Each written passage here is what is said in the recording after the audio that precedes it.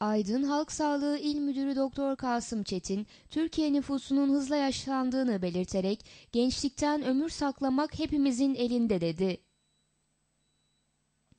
Aydın Halk Sağlığı Müdürü uzman doktor Kasım Çetin, 1 Ekim Dünya Yaşlılar Günü ile ilgili olarak yaptığı açıklamada 21. yüzyılda ön plana çıkan en önemli demografi olgulardan birisi nüfusumuzun yaşlanmasıdır.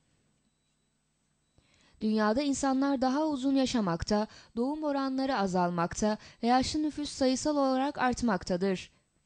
Yaşlı nüfus artış hızına paralel olarak yaşlılık ve yaşlı sağlığı konularında farkındalık yaratmak amacıyla tüm dünyada 1 Ekim Dünya Yaşlılar Günü olarak anılmaktadır. Yapılan araştırmalar ülkemizin yeni bir demografi yapıya geçmekte olduğunu göstermektedir. Ülkemizde yaşlı nüfus 2014 yılında 6 milyon olup yaşlı nüfusun toplam nüfus içindeki oranı %8 olmuştur. Yaşlı nüfus oranının 2023 yılında %10.2'ye, 2050 yılında ise %20.8'e yükseleceği tahmin edilmektedir.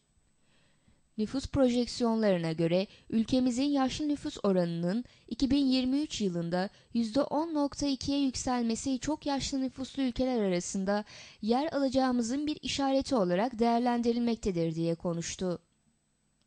Yaşlıların toplumsal yaşama aktif olarak katılmalarını, sosyal, kültürel ve ekonomik haklara sahip ve de kimseye muhtaç olmadan yaşamalarını sağlamanın kişi, kurum ve devletin öncelikli görevi olduğunu işaret eden Çetin, her yeni güne yaşlanmak için değil, sağlıklı yaşamak için gençlikten ömür saklamak hepimizin elinde şeklinde konuştu.